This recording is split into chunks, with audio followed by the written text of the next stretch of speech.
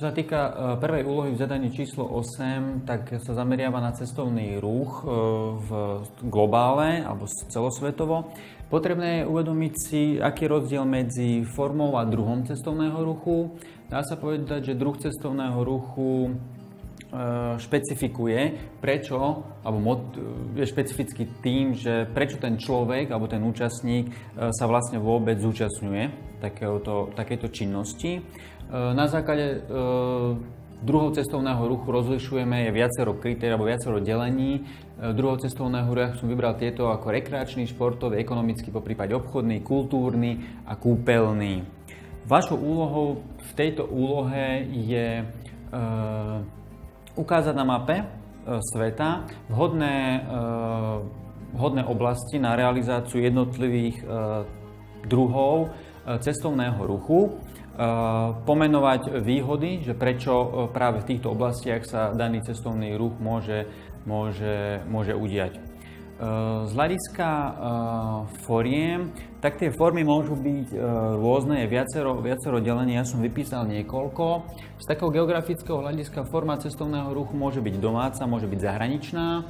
Z hľadiska počtu účastníkov, tak to je či už skupinová, či nejaká organizovaná alebo individuálna.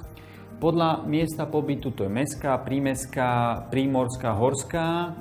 Z hľadiska obdobia môže byť sezónna, mimosezónna alebo celoročná.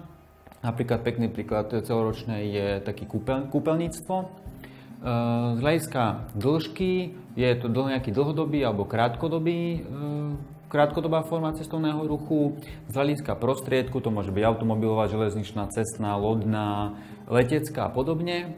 Z hľadiska dynamiky to môže byť statický, čiže nejaký, môžeme povedať, že taký pobytový, e, pobytová forma cestovného ruchu, alebo dynamická, čiže e, v nejakom časom období, keď ja som na tom v, realizujem tú, ten cestovný ruch alebo tú, e, tú návštevu nejakej oblasti, tak sa presúvam z jedného miesta na druhý. E, napríklad taká turistika je, je dynamický, dynamický, dynamická forma cestovného ruchu.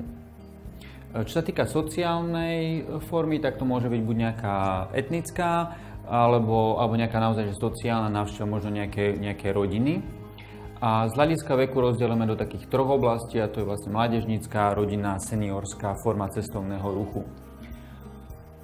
Je potrebné uviesť príklady týchto oblastí a možno realizovať jednotlivé druhy, ako, kde možno realizovať jednotlivé druhy cestovného ruchu.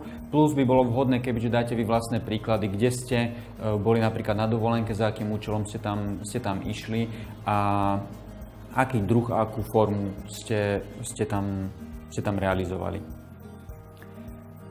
Čo sa týka druhej úlohy v, tomto zadaní, tak e, zaoberá sa Áziou a jej problémami, tým, že Ázia je naozaj veľký svetadiel e, s takým hlavným problémom preľudneným. Sú tam naozaj e, krajiny ako Čína, Rusko e, a India, ktoré majú veľký počet obyvateľov.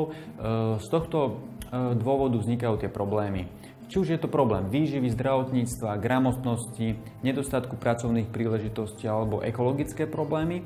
Vašou úlohou z hľadiska tohto je navrhnúť nejaké možnosti riešenia, ktoré e, by nejako vyriešili e, možnosť problém s zdravotníctvom, možno nejaká humanitárna pomoc, e, po prípade s gramotnosťou, nejaká dobrovoľnícka výuková činnosť.